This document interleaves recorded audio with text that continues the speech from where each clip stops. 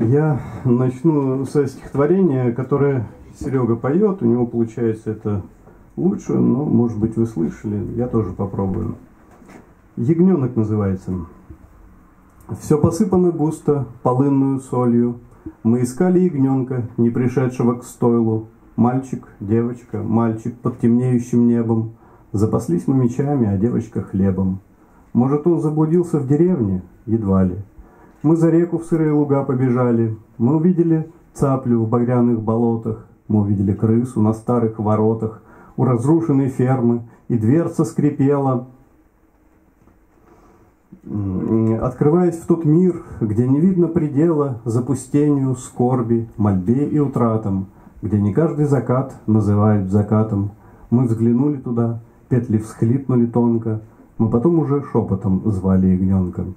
А в лесу будто все наши ночи чернели, но пока их держали передние ели, мы взбежали на холм и назад оглянулись, и деревни огни чуть заметно качнулись, там петух не кричит, и собака не лает, словно это корабль в тишину отплывает, отплывает без нас, нас оставили в спешке, мы скатились с бугра, как с ладони орешки в молоко, вызняковые, э, хлопья тумана, сквозь холодное пламя речного бурьяна.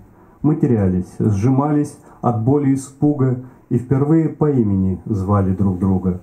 А ягненок, с которого путь начинался, он нашелся без нас, может быть, не терялся.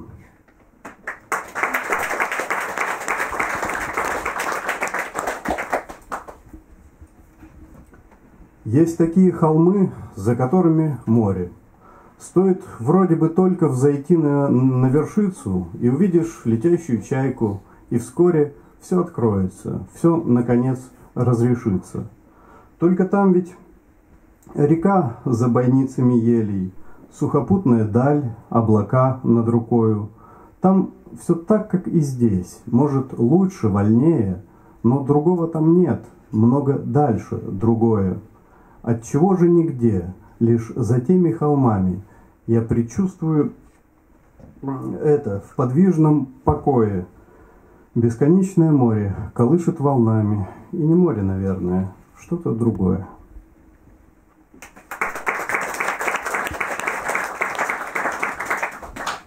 Ну и вот еще одно такое. Так и поют они по вечерам на всю весну невидимое племя, вокруг собравшись в молодой листве, в сырой траве уже набравшие силу, забрызнувшей из веточек хвоей, где гнезда их, зачем их столько много?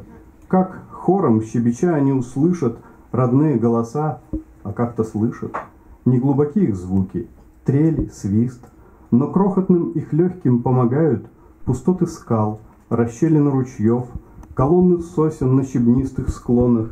Вся эта чаша древнего каньона, наполненная их пением, и звучит.